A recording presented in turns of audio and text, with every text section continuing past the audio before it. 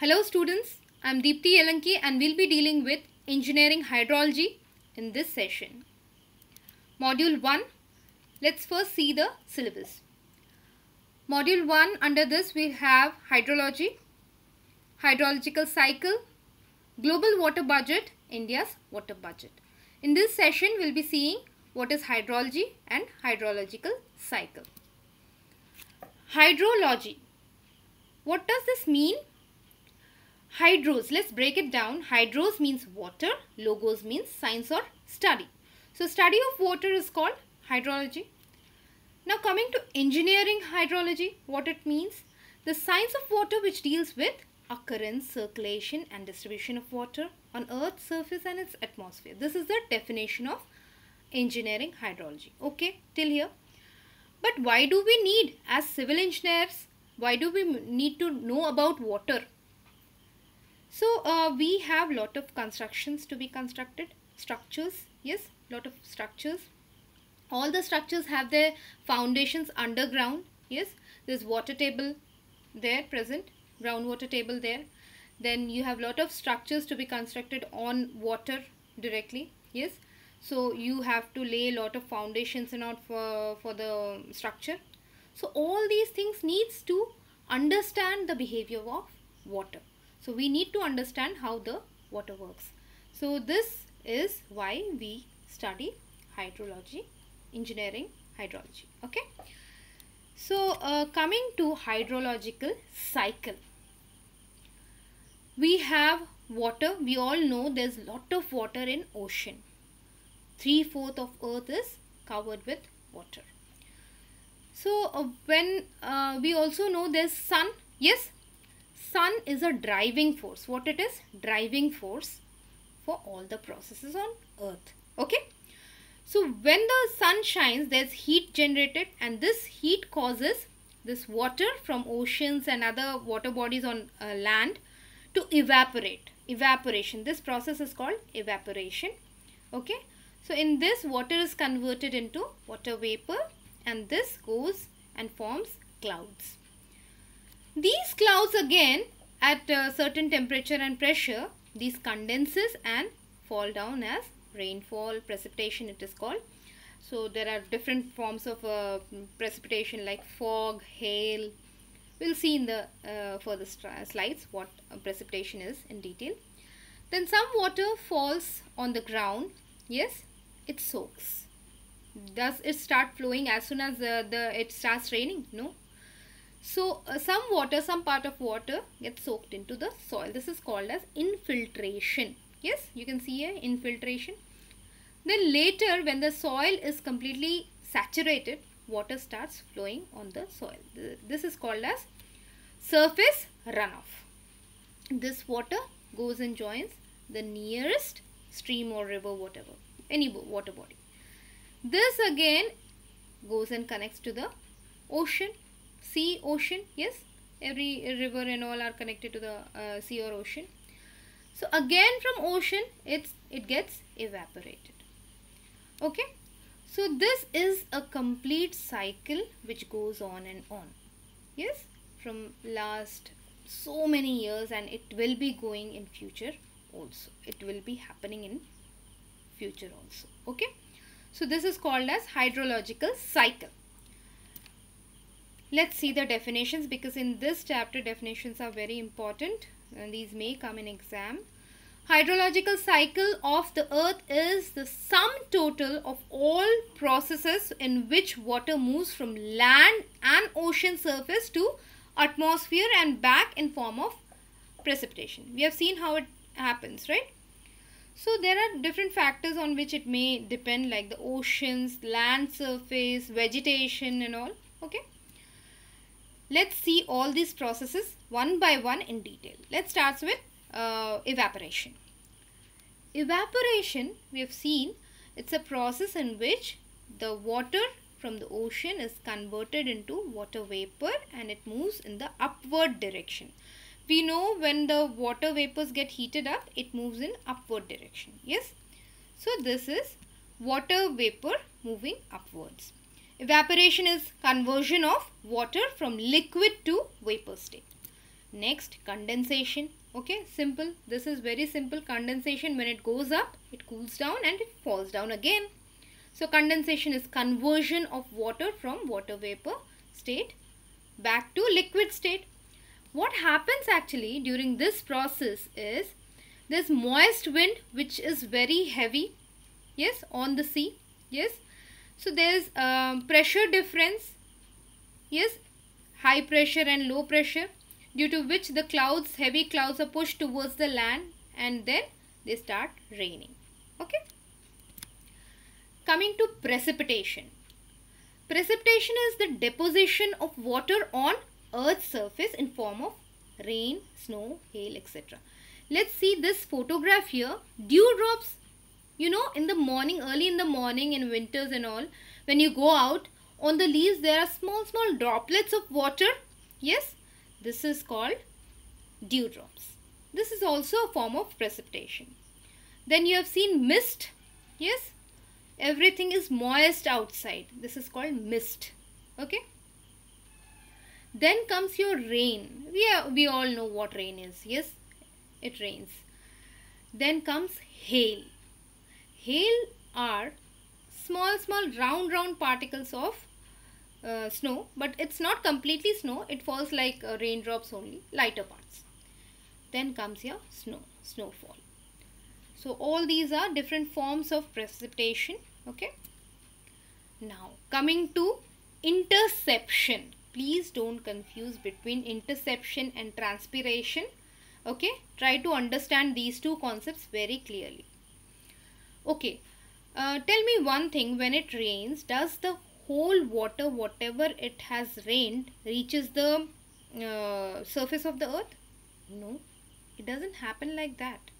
Some water is retained on the leaves flowers branches. Yes? So the retained water is called interception. Interception is the short term retention of rainwater in the foliage of vegetation. But while it is raining, do you know one more thing? When it is raining itself, also there's evaporation. When the water droplets have started falling from the clouds, okay, that time itself some part of the water is evaporated back again whatever is left over that reaches it reaches first the trees and all the higher higher things what are there yes? Then whatever is left after that reaches the land okay? Coming to the next concept infiltration. So infiltration means look when water falls on the soil on the earth's uh, surface what happens? The water gets soaked it doesn't start flow flow uh, as soon uh, it doesn't start to flow as soon as it falls on the soil.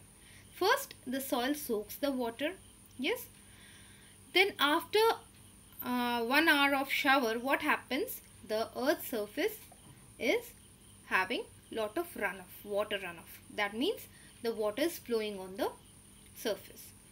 That means the soil the part of the soil which is on the top is completely saturated with water. So it cannot hold anymore or it cannot take in anymore. So what happens? It starts flowing. So whatever water is soaked, yes, whatever water is soaked into the soil is called infiltration. Infiltration is the movement of water into the soil of the earth's surface. Next coming to groundwater table. Yes, you can see this blue part here,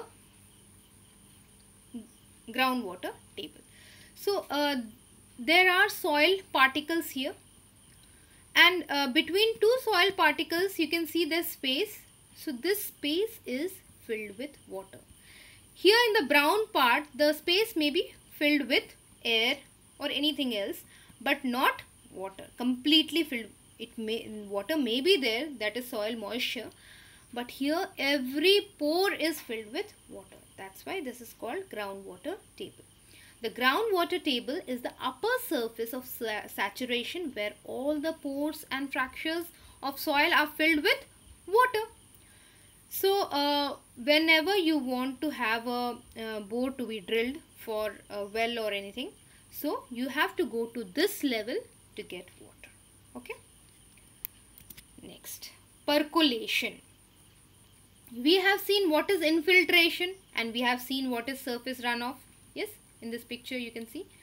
Infiltration we have seen. The water is soaked.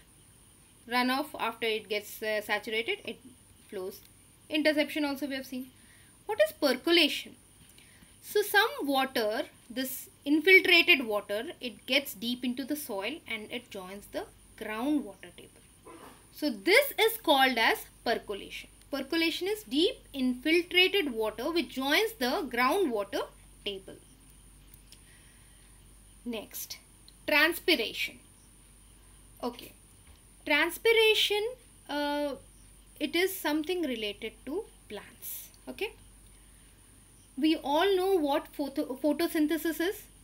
Photosynthesis is a process in which the plant makes uh, food we say that in presence of sunlight okay it's a process which takes place in plants okay so uh, transpiration is the moisture, soil moisture taken up through the roots of the plants and discharged into the atmosphere through the foliage by evaporation. Here, what do you understand by foliage, evaporation, roots? Where the water is coming up, the roots are taking the water from soil and take transporting it to leaves. So the leaves have water from the soil in leaves, what is happening? Photosynthesis is taking place.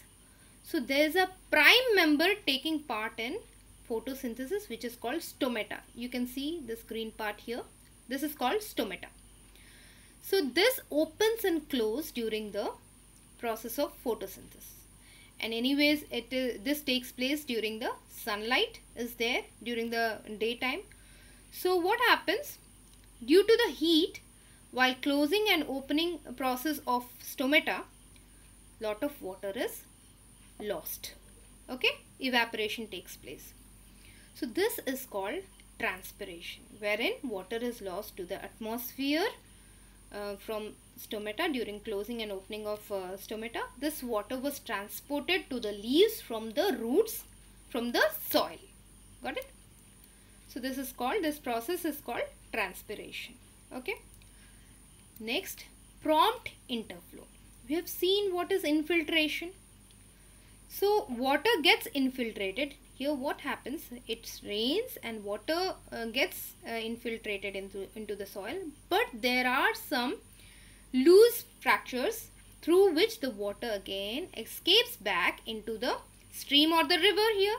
And again, it comes back to the groundwater table. It joins the water, groundwater table. So water enters the soil, again it comes out, again joins the stream and again comes back to the groundwater table. Just observe the water movement, okay? Prompt interflow is the lateral movement of water in unsaturated zone that returns to the surface or enters the stream prior to becoming the groundwater, okay? Next, base flow there is a stream of water flowing under the ground okay under the surface of the ground okay this base flow when it uh, goes and meets joins the river or stream which has a depth which touches the base flow it is called base flow base flow is the water flowing at certain depth below the groundwater surface which ultimately joins the river or a stream okay so this is called base flow. Next, surface runoff. We have seen what is uh, in, infiltrated water. After water is infiltrated, the soil cannot hold water anymore. So what it does? It starts flowing. So the process in which the water flows on the surface of the uh, earth is called as surface runoff and where the soil is completely saturated. That's why it cannot hold anymore. So it flows like this. This water flows to the nearest water body, a stream, a river or a sea, anything. Okay. let's see the definition surface runoff is the flow of water occurring on ground surface when excess rain storm water rainwater or storm water snow melt water can no longer get sufficiently rapidly infiltrated into the soil okay this is important when the soil is unable to infiltrate the water okay the components of hydrological cycle we have seen how, what is hydrological cycle. Let's just quickly uh, see what are the components we already saw. Driving force we have seen sun transportation co components. The water is moving right? From uh, ocean to uh, the sky clouds then again back to uh, land again back to uh, the groundwater then again to the ocean and all. So this movement transportation component. What are the processes? Evaporation precipitation transpiration prompt interflow base flow infiltration and runoff. Okay. Coming to storage com component we have surface water storage. What are they? We have our uh, river pond lakes stream. Yes. Wherever we store water then uh, we have soil moisture storage. Yes in soil also there's moisture stored. Groundwater storage. So uh, with this we'll end this session here. Thank you very much. If you have any doubts please feel free to ask me. Thank you very much for watching.